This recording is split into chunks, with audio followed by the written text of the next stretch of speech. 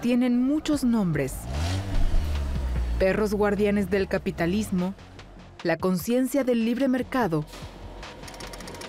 pero también la mafia de traje a rayas. Son las cuatro grandes auditoras, EY, KPMG, PwC y Deloitte. Las cuatro grandes tienen mucha influencia en nuestra economía. Su profundo conocimiento sobre empresas y leyes tributarias convierte a estas auditoras en expertas imprescindibles. Desde mi punto de vista, son demasiado poderosas e influyen en decisiones políticas y en leyes. Sin las cuatro grandes, la cosa no funciona. Cumplen una importante tarea, la revisión de los balances anuales de las empresas. Para nosotros, los consumidores y los inversionistas, es extremadamente importante poder confiar en la información que recibimos. ¿Cumplen las cuatro grandes auditoras con esta tarea? En 2020, el escándalo protagonizado por la empresa Wirecard sacudió a Alemania. De niña mimada por la bolsa, empresa fraudulenta sin igual. Una caída bursátil como esta no hubo nunca en el DAX. EY revisó durante años los balances de Wirecard y asegura que no detectó el fraude. Estos errores ocurrían hace un siglo, pero no es posible que sigan ocurriendo hoy. No hay que ser un ángel para realizar una buena auditoría. Solo hay que ser independiente. Cada nuevo escándalo arroja un manto de dudas sobre las grandes auditoras. ¿Trabajan de forma negligente? Están sobrecargadas de trabajo o el error se encuentra en el sistema.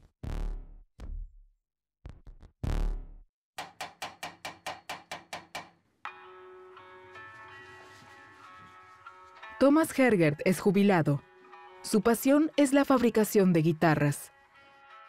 Fue profesor de un colegio y recibe una jubilación de unos 2.000 euros mensuales, lo que le permite llevar una vida holgada, en sus propias palabras.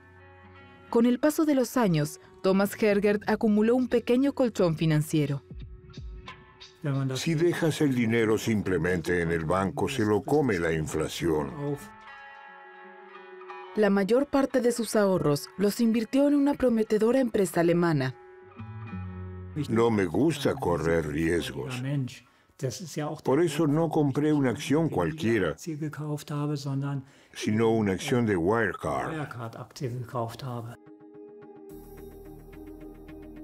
Sin embargo, esa seguridad resultó ser engañosa. La empresa en ascenso colapsó repentinamente y con ella el valor de sus acciones.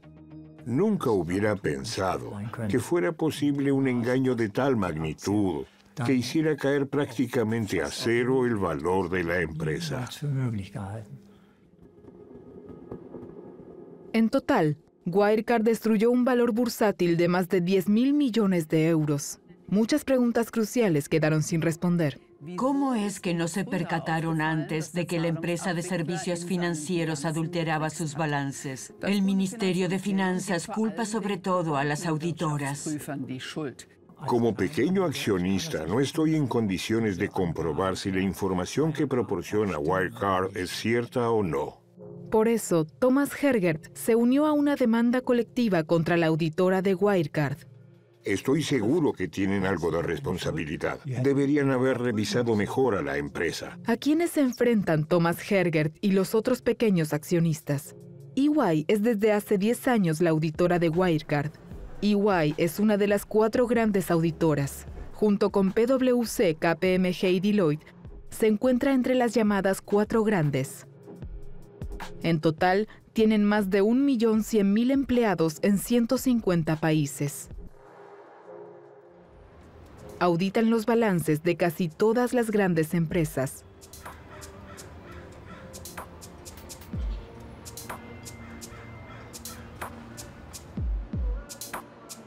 Silas Tausholm es doctoranda de la Business School de Copenhague. Investiga desde hace años a las cuatro grandes auditoras y su significado para la economía y la sociedad. La auditoría es algo obligatorio. Es extremadamente importante para que una economía de mercado funcione bien. Todas las empresas medianas y grandes deben someter sus balances anuales a una auditora independiente. Para nosotros, como consumidores y para los inversionistas, es muy importante poder confiar en la información que recibimos. Y nuestra única arma es la auditoría. En la crisis económica y financiera mundial de 1929, muchas empresas y bancos ocultaron su mala situación. También en Alemania, centenares de miles de personas perdieron su trabajo y su dinero. En ese contexto, en 1931 se impuso por ley la obligación de que las empresas se sometieran a una auditoría. La tarea fue encomendada a las auditoras.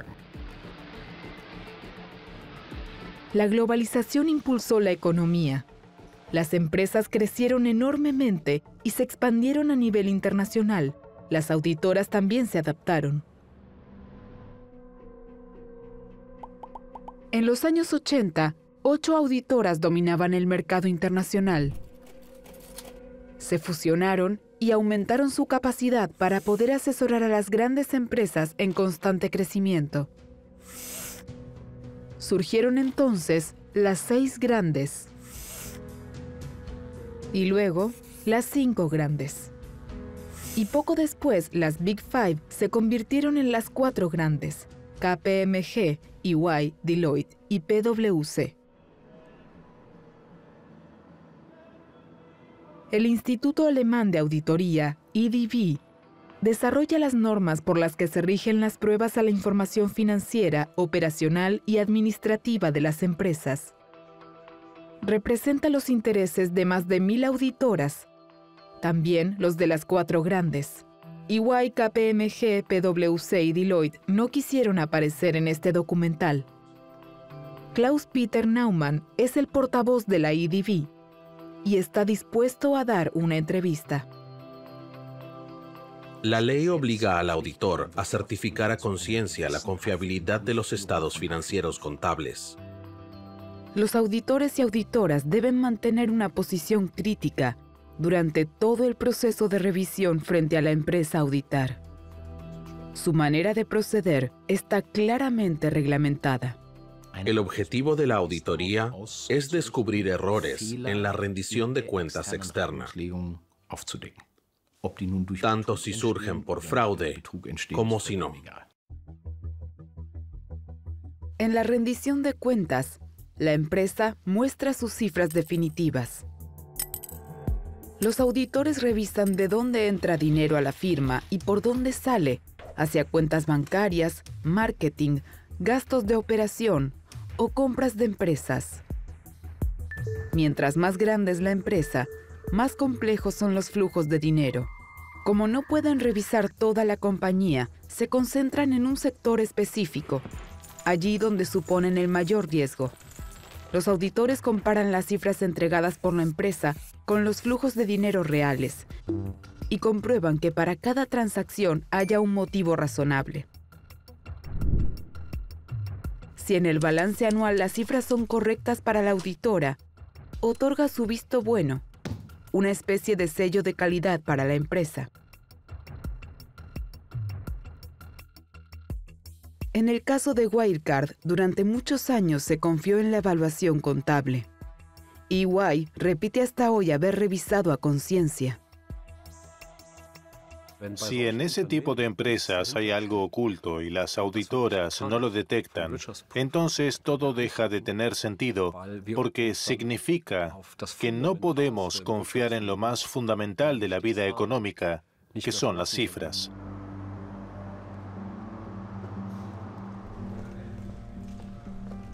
Fabio De Masi fue presidente de la comisión parlamentaria encargada de investigar el escándalo Wirecard. La comisión comenzó su trabajo en octubre de 2020. Durante nueve meses, los diputados interrogaron a 110 testigos. Una pregunta clave fue si los auditores de EY habían cometido algún error. No era la primera vez que las grandes auditoras estaban en el ojo del huracán. Flowtex era una empresa que vendía máquinas de perforación horizontal. Entre 1994 y 1999, infló su balance anual con ventas ficticias. Aparentemente, los auditores de KPMG no se percataron de nada. El daño fue de casi 5 mil millones de marcos. Hasta entonces fue el mayor caso de criminalidad económica en Alemania. En Estados Unidos, la empresa energética Enron inventó ganancias durante años. Los auditores de Arthur Andersen, en aquella época la número 5 del mercado, supuestamente nunca se dieron cuenta. Enron quebró y altos directivos de Andersen eliminaron sin permiso documentación de la empresa. Tras el escándalo, Arthur Andersen perdió la licencia para auditar empresas registradas en la bolsa y desapareció. El banco de inversión estadounidense, Lehman Brothers, se declaró en bancarrota en 2008. Durante años se valió de trucos contables para maquillar su situación financiera. Sin embargo, la auditora Ernst Young dio por buenos sus balances. Hay conmoción en las bolsas, las acciones se derrumban. Luego, Lehman Brothers colapsó bajo una montaña de deudas y desató la peor crisis económica y financiera desde la Segunda Guerra Mundial. En todo el mundo, el rescate de los bancos se hizo con el dinero de los contribuyentes. En Alemania fueron 59 mil millones de euros. Hay algunos casos de escándalos empresariales que no fueron detectados por las auditoras y que por supuesto nunca debieron ocurrir. Pero por 10 escándalos en 90 años, no podemos concluir que no funcionen las auditoras, que todos los años revisan miles de balances. Sin embargo, la duda queda. Las auditoras solo ayudan en contadas ocasiones a detectar los escándalos empresariales. ¿Por qué es así? Una explicación posible son los conflictos de interés.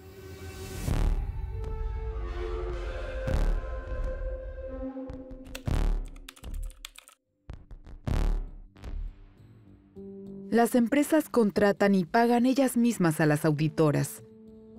La ley parte de la base de que la empresa está interesada en ser evaluada con rigurosidad.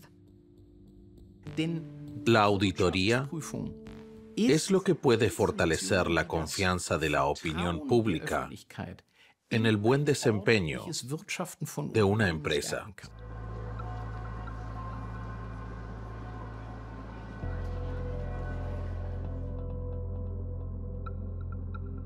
Carola Rinker es experta en balances y asesora de empresas. Dado que las empresas pagan a sus auditoras, ella duda de que éstas puedan mantener siempre su independencia.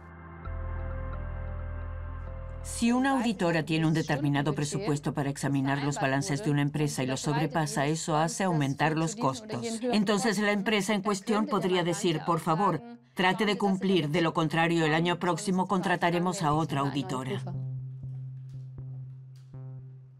Antoine Deltour conoce esa presión durante dos años trabajó como auditor junior en PwC en Luxemburgo. Si el auditor descubre algo, no quiere molestar con eso al cliente. Entonces, si el cliente no quiere corregirlo, es prácticamente imposible cumplir bien la labor del auditor.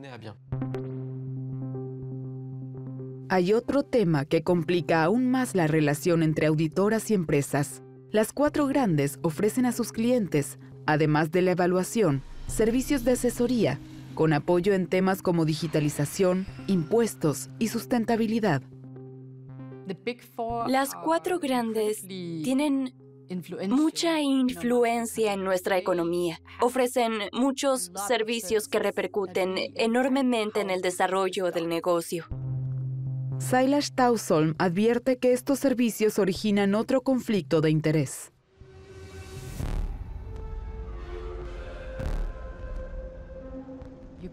No puedes tratar a alguien como tu cliente y al mismo tiempo evaluarlo críticamente. Debes estar en un lado o en otro. Las cuatro grandes auditoras solo hacen un tercio de su negocio con la revisión de balances, que era su actividad original. Hasta dos tercios de su facturación la generan actualmente con diversos contratos de asesoría. El mercado de los balances es limitado y lo que se paga por ellos se ha estancado. Pero en el negocio del asesoramiento ocurre exactamente lo contrario, así que resulta comprensible que se quiera ofrecer dicho servicio también. El éxito económico de una auditora asegura la calidad de su trabajo. Es más, su éxito económico también asegura su independencia financiera. Quien no es financieramente independiente frente a la empresa que contrata sus servicios es más susceptible a pasar por alto los errores que detecta.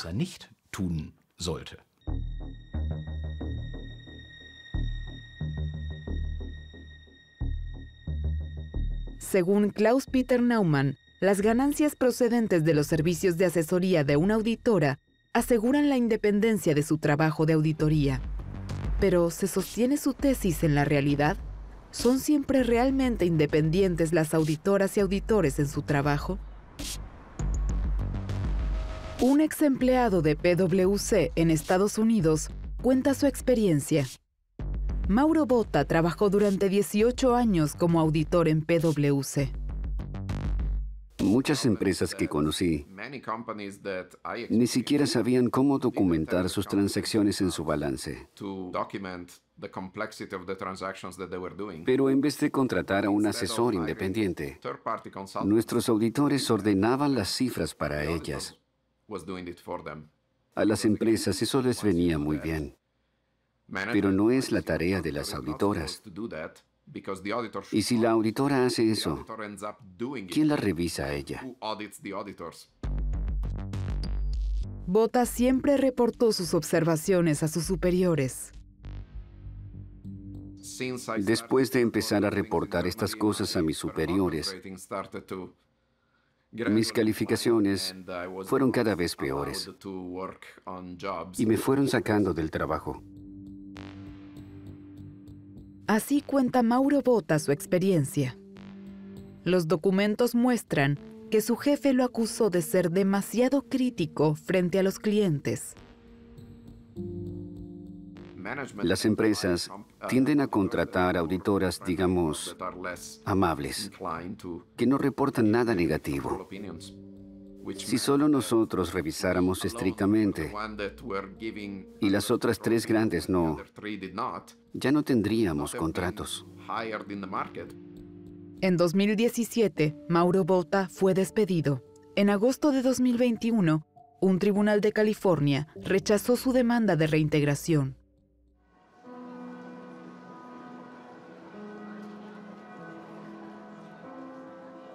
Michael Gishrey es auditor y presidente de la Asociación de Medianas Auditoras.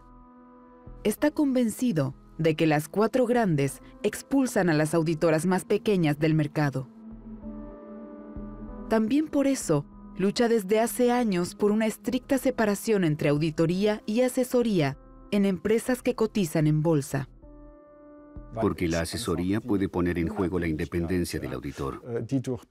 Aunque sea en menor medida, no se puede saber qué influencia tiene sobre el auditor.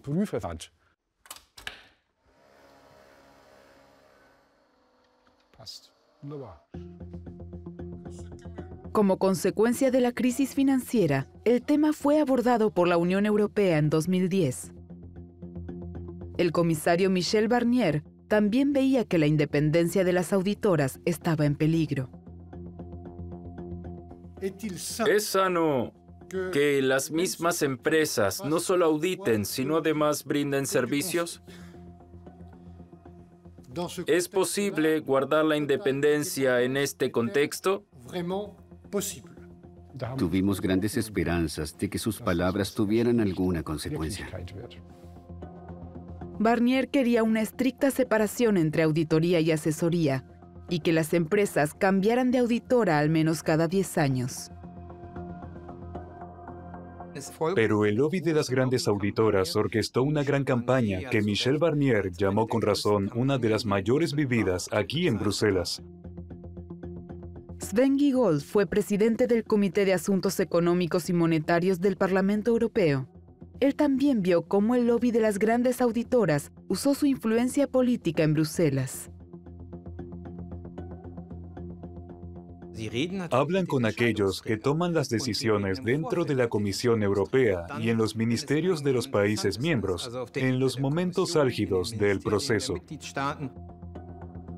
Al final, de la idea de Michel Barnier no quedó casi nada. Los países miembros de la Unión Europea podían decidir por sí mismos qué aspectos de la reforma querían aplicar en la auditoría contable. Suavizaron todo lo que podría haber disgustado a las grandes empresas.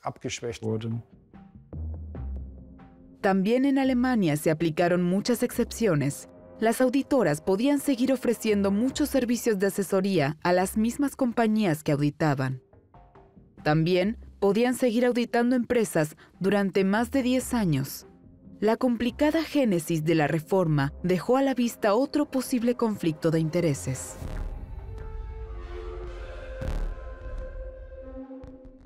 Los cuatro grandes reciben regularmente importantes contratos de asesoría de los ministerios alemanes. También EY, incluso después de la quiebra de Wirecard, y eso seguirá igual. Estos problemas demuestran que en los ministerios ya no trabajan las personas más adecuadas. El problema incluso alcanza a la Inspección Financiera Federal, la APAS.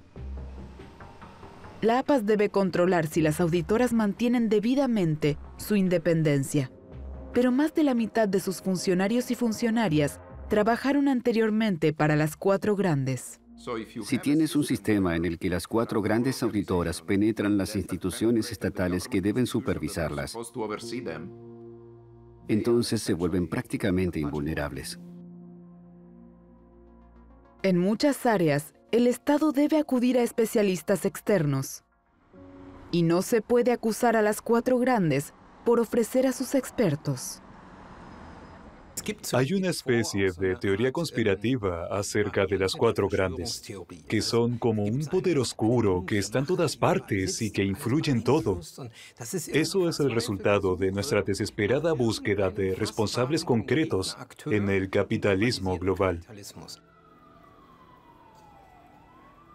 Pero en el contexto general, obviamente, son actores poderosos. El poder económico se vuelve poder político.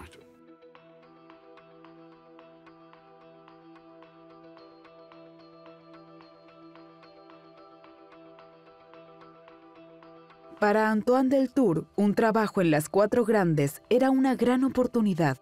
Su carrera comenzó en 2008 en PwC, en Luxemburgo. Me interesan los números y tengo una buena mente analítica, así que me iba bien.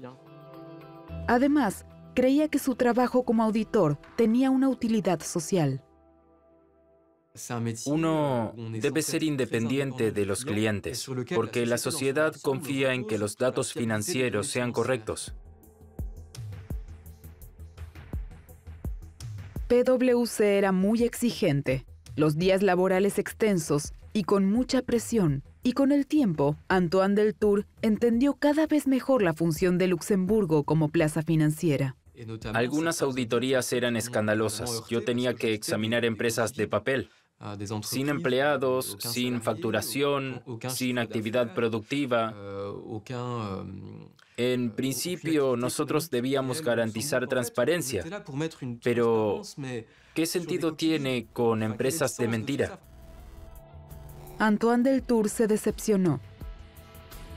No le veía un sentido a su trabajo en PwC Luxemburgo. Después de dos años, renunció. Antes de irse, recopilando archivos en la red interna de PwC, se topó con unas liquidaciones de impuestos confidenciales. Estas mostraban claramente cómo Luxemburgo buscaba atraer empresas internacionales y PwC se encargaba de reducir su carga impositiva a menos del 1%. En esos casos, el objetivo es que, por las ganancias obtenidas en un país, la empresa tribute en otro donde los impuestos son muy bajos, utilizando trucos financieros que rayan en la ilegalidad. PwC incluso escribía ella misma las liquidaciones de impuestos usando el sello oficial de la Administración Financiera de Luxemburgo. Los funcionarios públicos ya solo debían firmarlas. PwC era como una sección externa de la administración financiera de Luxemburgo. Una barbaridad. Antoine Deltour entregó los documentos a un periodista francés. En 2014, Luxemburgo demandó a Antoine Deltour por el robo de los documentos. En 2018 fue reconocido oficialmente como denunciante.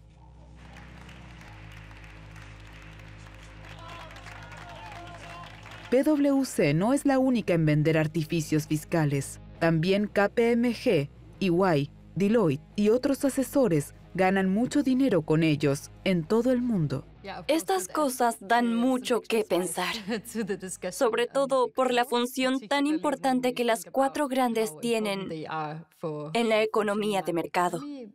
Es preocupante que sean ellas quienes socaven la sociedad de esa manera, enseñando a las empresas cómo reducir agresivamente el pago de impuestos.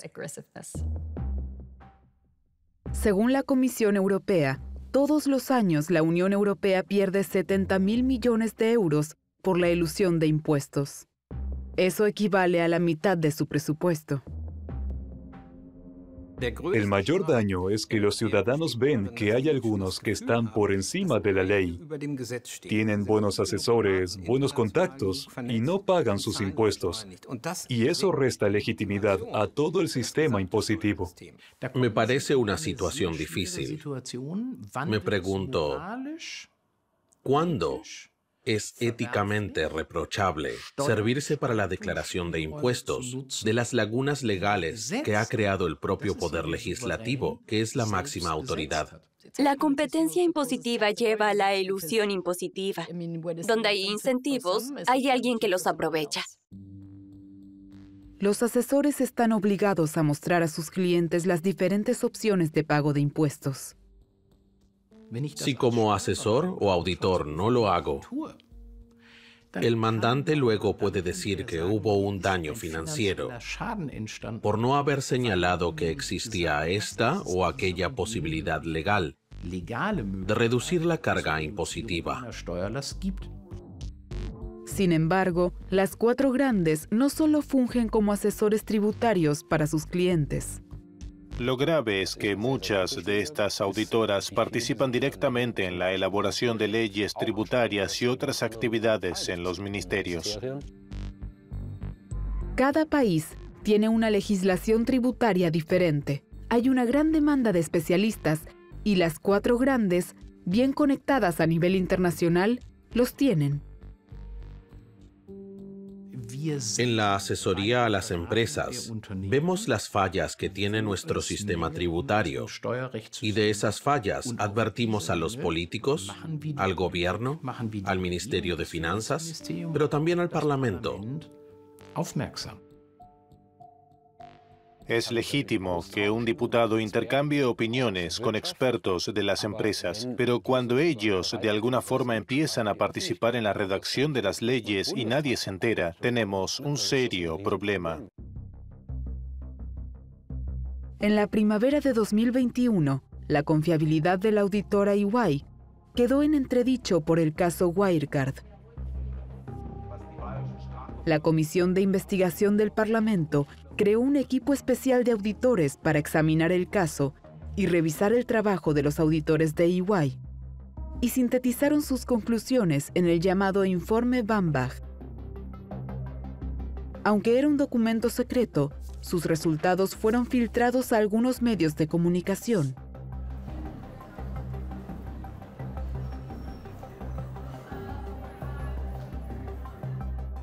Felix Holterman es periodista del diario económico Handelsblatt.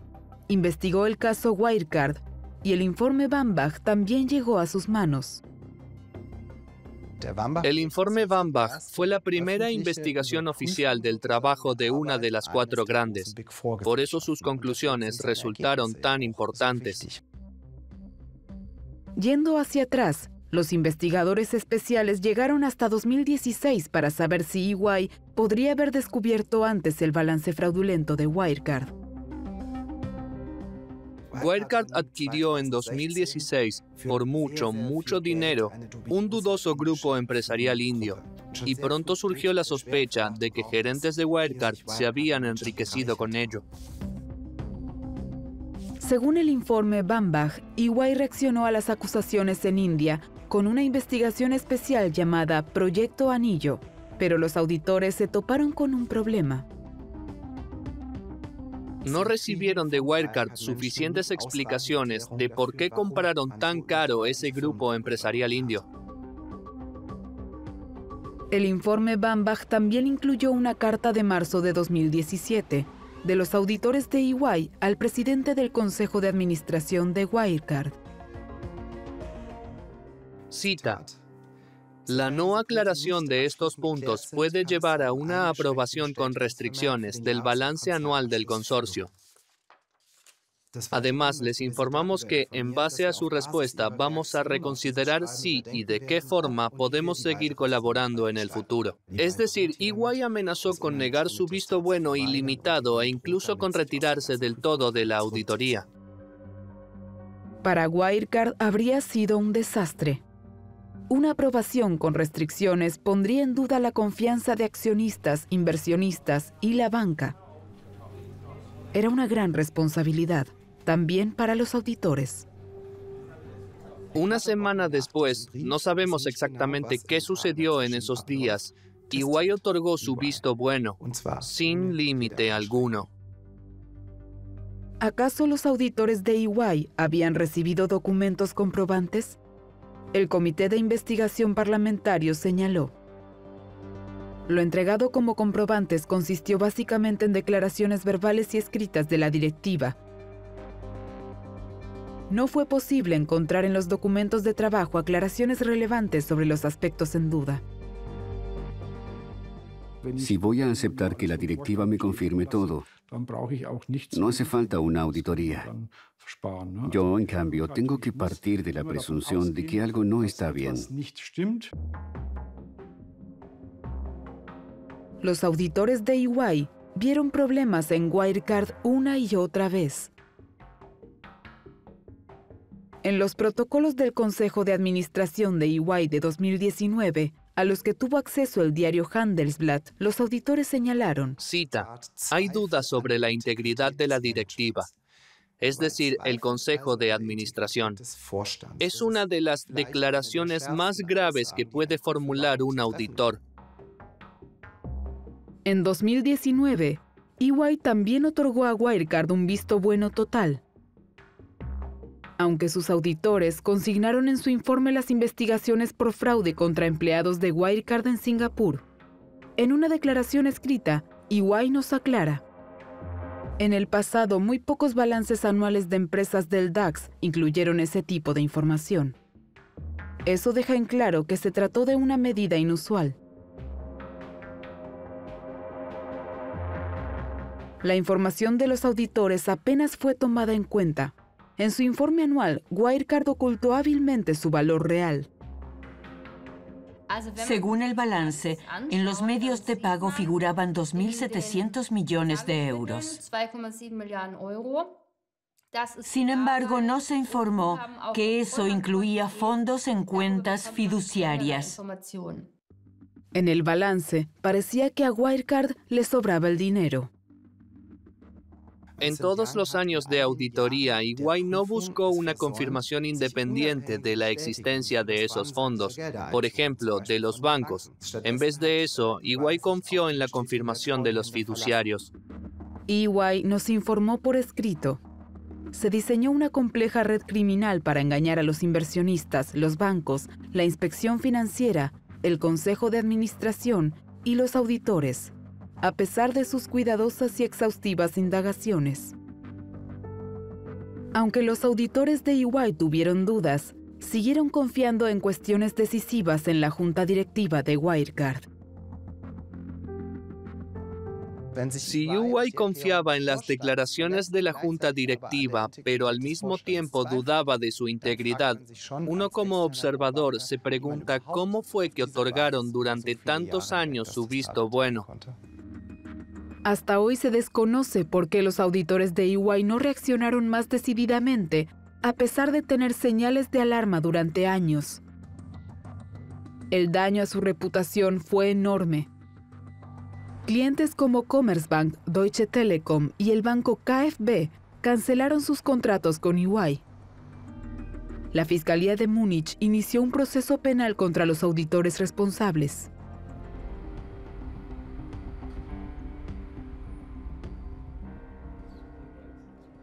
A finales de junio de 2021, el Comité Investigador del Parlamento presentó su informe final. Este fraude pudo haber sido evitado a tiempo, estimadas y estimados colegas. Obviamente era responsabilidad de los auditores revisar si los 1.900 millones de euros un tercio de la suma del balance se encontraban efectivamente en una cuenta fiduciaria en Filipinas. Los bien pagados auditores de EY no lo lograron. Sin embargo, en su opinión, no solo fallaron los auditores. El caso revela un fracaso de las autoridades, sobre todo la BaFin. La Autoridad Federal de Supervisión Financiera, conocida como BaFin, supervisa en Alemania los bancos pequeños, las aseguradoras y la contratación de valores. Cuando en 2019 se dieron a conocer nuevas acusaciones de fraude contra Wirecard, sus acciones se derrumbaron. La BaFin prohibió entonces a los inversionistas apostar a la caída de la acción. Sin embargo, no revisó si los balances de Wirecard eran correctos. Según la autoridad, no era parte de sus competencias. Si no es de mi competencia, no soy responsable. La supervisión de esa entidad correspondió entre 2018 y 2021 al entonces ministro de Finanzas Olaf Scholz. Ante la comisión investigadora, rechazó acusaciones de que la BaFin habría protegido a Wirecard. Sin embargo, Scholz admitió que los controles estatales para casos de fraude no eran lo suficientemente robustos. Por eso es tan importante que hagamos todo lo posible para que estas cosas no se repitan, con autoridades y leyes bien establecidas. Por eso, en junio de 2021, el Parlamento alemán aprobó la Ley de Fortalecimiento de la Integridad del Mercado Financiero, conocida como FISG. Su objetivo fue restablecer la confianza en Alemania como plaza financiera y mejorar la calidad de la auditoría contable. Con la FISG, el gobierno alemán aplicaba la reforma que Michel Barnier había impulsado en 2011 para la Unión Europea. Se restringió la auditoría y asesoría simultánea de una empresa. Las auditoras ya no podían auditar a las empresas más de 10 años seguidos. La ley además amplió la responsabilidad jurídica del auditor. Las firmas auditar fueron obligadas a incorporar sistemas de control propios y efectivos. La BaFin adquirió más facultades y además asumió la responsabilidad total del control estatal de los balances. Esta ley tiene algunos aspectos sensatos, pero en el área de la auditoría es absolutamente insuficiente. Yo desearía una separación mucho más estricta de auditoría y asesoría. Creo que la ley tiene algunos planteamientos buenos, pero no mejora la calidad de la auditoría. A largo plazo, esa ley incluso podría llevar a una concentración mayor en el mercado de la auditoría porque más reglas significan más burocracia, y muchas auditoras pequeñas no podrán permitirse ese esfuerzo. Sven Giegold cree que la ley Fisk no abordó el verdadero problema. El señor Scholz ha creado una inspección financiera más fuerte. Pero si los miles de auditores que trabajan en las empresas siguen sufriendo un conflicto de intereses, superponerles ahora una inspección es como poner el arado delante de los bueyes.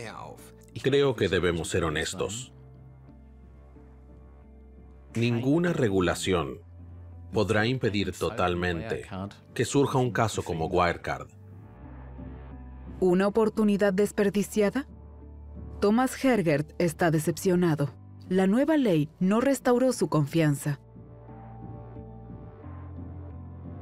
Todos te dicen, tu jubilación no está asegurada.